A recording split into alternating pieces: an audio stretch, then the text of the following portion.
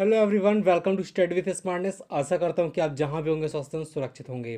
दोस्तों, आज हम बात करने वाले हैं मौर्य वंश के बारे में। मौर्य वंश से संबंधित आपके जितने भी इंपॉर्टेंट क्वेश्चन पूछे जाते हैं, जो भी इम्पोर्टेंट राजा रहे हैं मौर्य वंश में, उन सभी के बारे में आज हम इस वीडियो में देखने वाले हैं। और कोशिश करेंगे कि दोस्तों, आपको सभी कुछ जो है इसी वीडियो में याद हो जाए।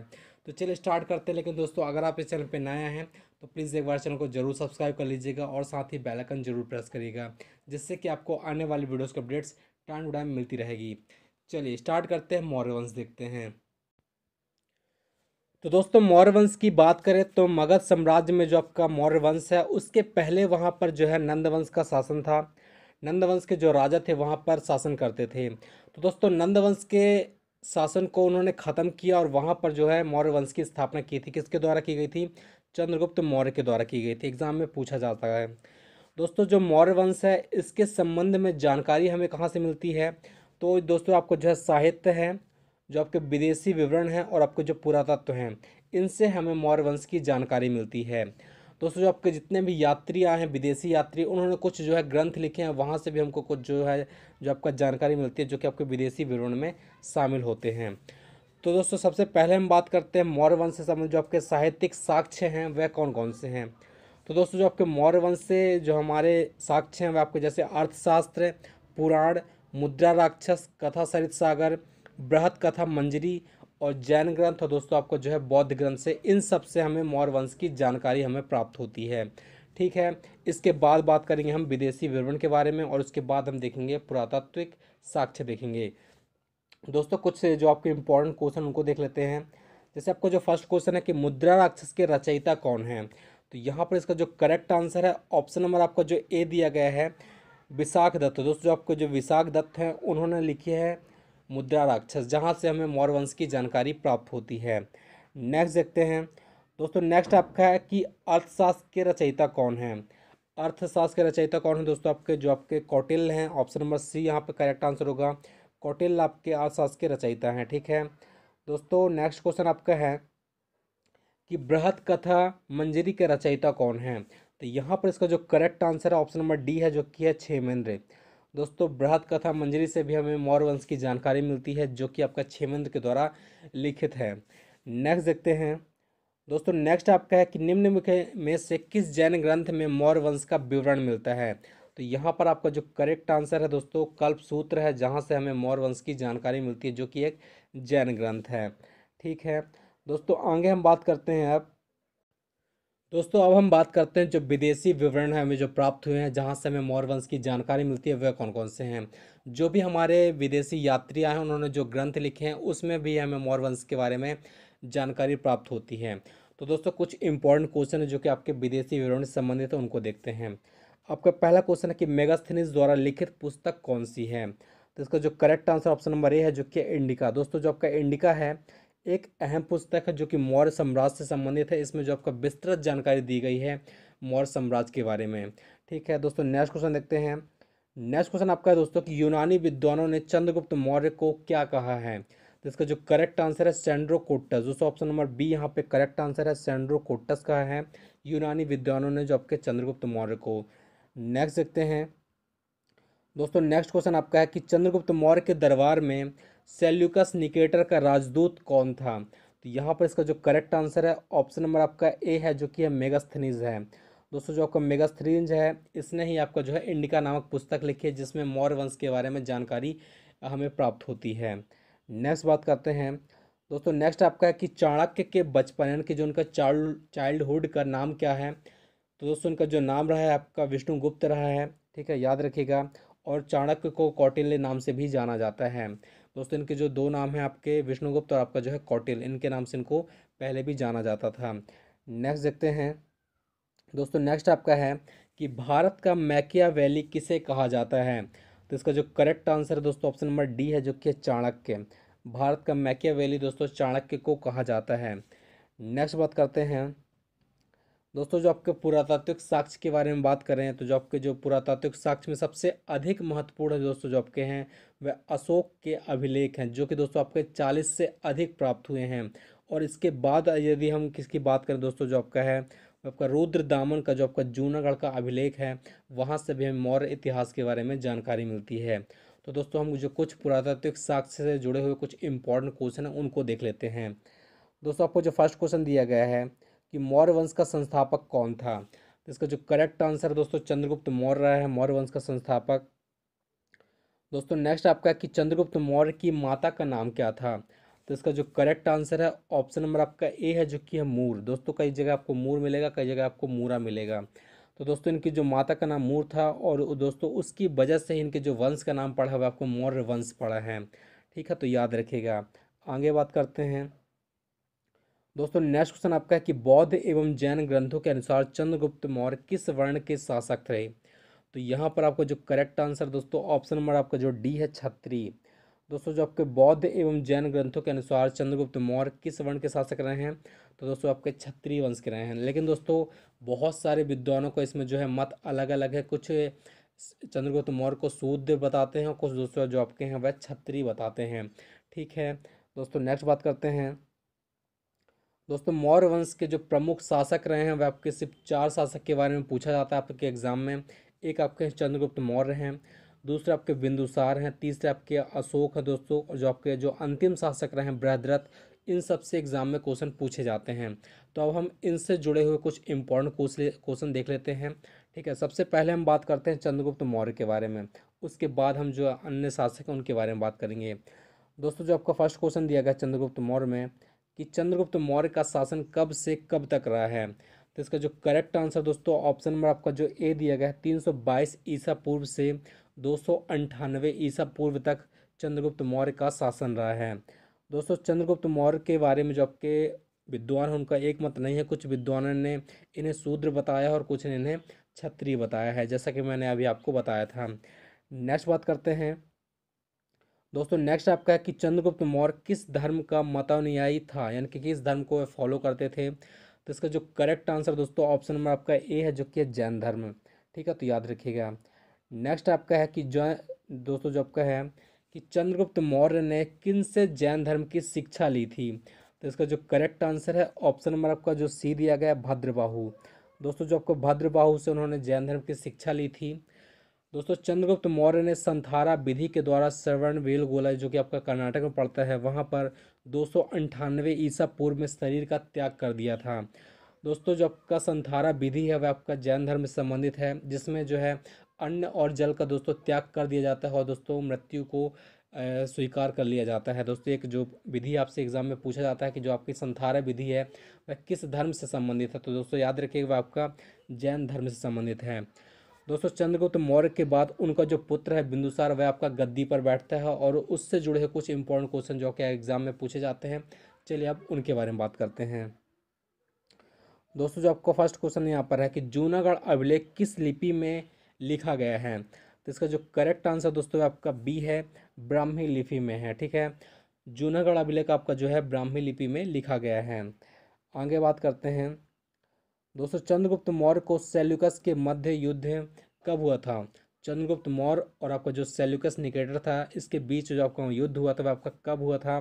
तो इसका जो करेक्ट आंसर दोस्तों ऑप्शन नंबर आपका बी है, तीन सौ पाँच ईसा पूर्व में हुआ है, ठीक है?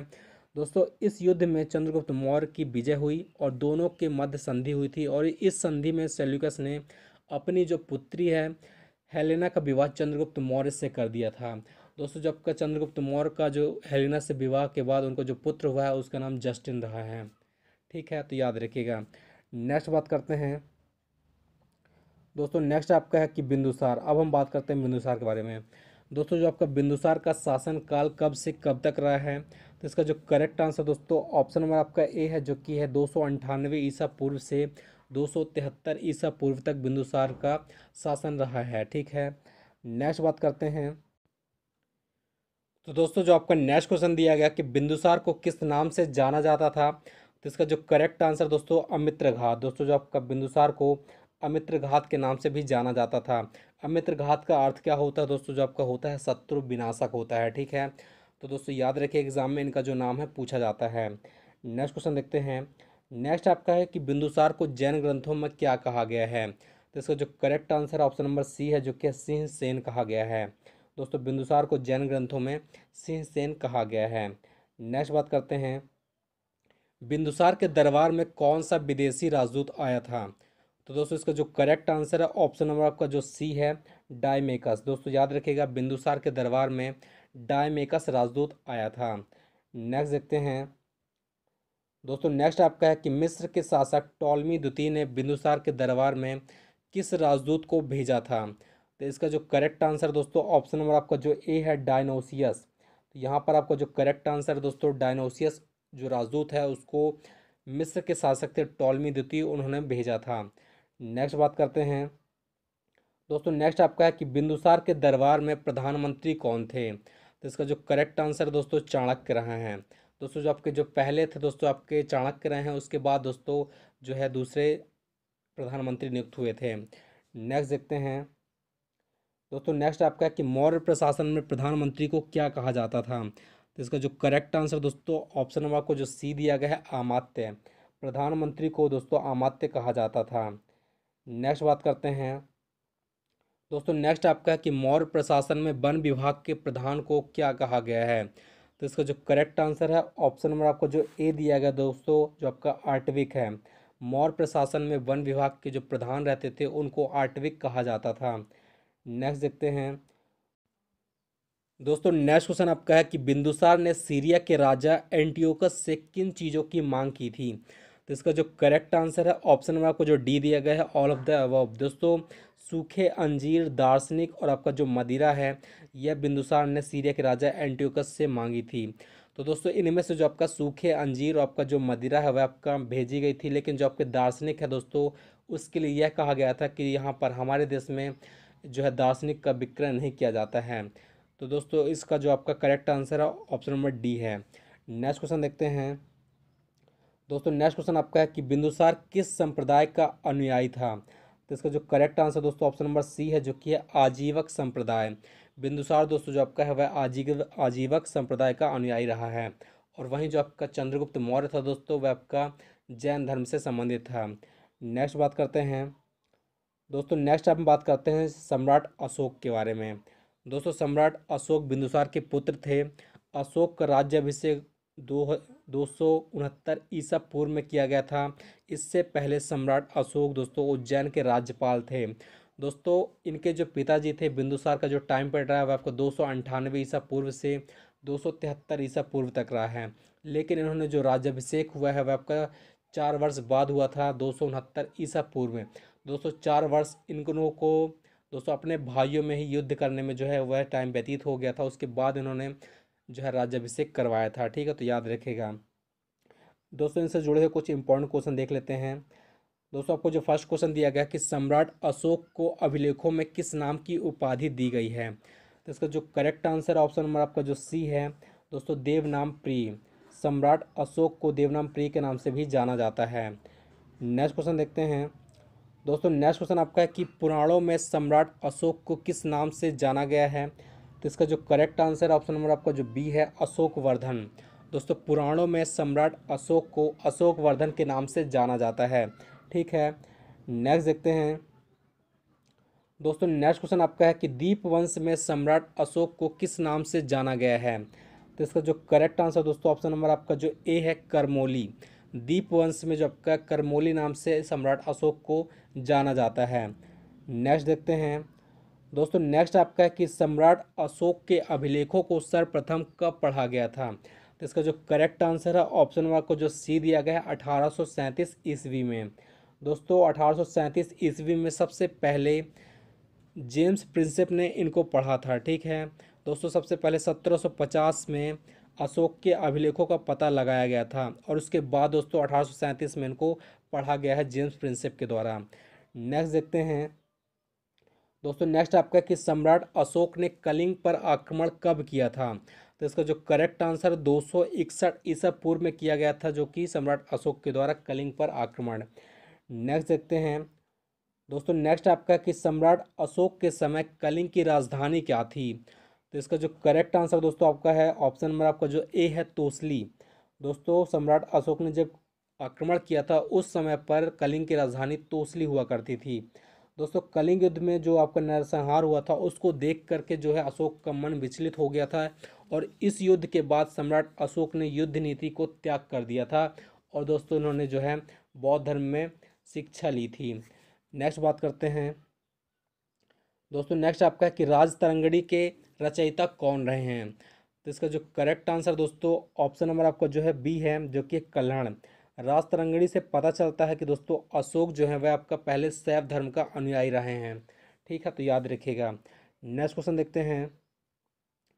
दोस्तों नेक्स्ट क्वेश्चन आपका है कि किन्होंने सम्राट अशोक को बौद्ध धर्म की शिक्षा दी थी? तो इसका जो करेक्ट आंसर दोस्तों ऑप्शन आपका जो है बी है उपगुप्त। दोस्तों, उपगुप्त बौद्ध भिक्षु थे, जिन्होंने बौद्ध धर्म की शिक्षा दी थी किसको? सम्राट अशोक को। नेक्स्ट क्वेश्चन देखते हैं। दोस्तों नेक्स्ट आपका है कि सम्राट अशोक ने प्रजा के उत्थान के लिए जिन नियमों की रचना की या संहिता प्रस्तुत की, उन्हें क्या कहा गया है? तो इसका जो करेक्ट आंसर दोस्तों ऑप्शन नंबर आपको जो बी है, धम्म कहा गया है। दोस्तों, इन्होंने इन्हें अशोक के धम्म के नाम से भी जाना जाता है, ठीक है? जो नियम उन्होंने बताए थे उनको। नेक्स्ट बात करते हैं। दोस्तों नेक्स्ट क्वेश्चन आपका जो है कि वे अभिलेख जो गुफाओं पर उत्कीर्ण है, वे क्या कहलाते हैं?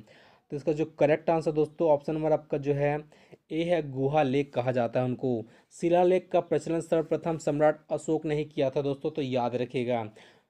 नेक्स्ट बात करते हैं। दोस्तों नेक्स्ट क्वेश्चन आपका है कि सम्राट अशोक के किस अभिलेख का विषय प्रशासनिक न होकर आर्थिक था? तो इसका जो करेक्ट आंसर दोस्तों ऑप्शन नंबर आपका जो बी दिया गया है रोमनिदेयी अभिलेख। यहाँ पर जो इसका विषय था दोस्तों आपका प्रशासनिक नहीं, बल्कि जो है आर्थिक रहा है। तो याद रखिएगा। नेक्स्ट बात करते हैं दोस्तों। दोस्तों नेक्स्ट आपका है कि सम्राट अशोक की मृत्यु कब हुई थी? तो इसका जो करेक्ट आंसर दोस्तों ऑप्शन नंबर आपका जो दिया गया है डी है, दो सौ बत्तीस ईसा पूर्व में सम्राट अशोक की मृत्यु हुई है। नेक्स्ट क्वेश्चन देखते हैं। दोस्तों नेक्स्ट क्वेश्चन आपका है कि मौर्य वंश का अंतिम शासक कौन रहा है? दोस्तों, इससे ज़्यादा क्वेश्चन नहीं पूछे जाते, बस आपका नाम पूछा जाता है कि मौर्य वंश का अंतिम शासक कौन था। तो इसका जो करेक्ट आंसर दोस्तों ऑप्शन नंबर आपको जो बी दिया गया है, बृहदरथ रहा है, अंतिम शासक रहा है। ठीक है? दोस्तों बृहदत्त की हत्या एक सौ पचासी ईसा पूर्व में सेनापति पुष्यमित्र सुंग ने कर दी थी। ठीक है? तो दोस्तों, यहाँ पर जो है मौर्य वंश समाप्त हो जाता है।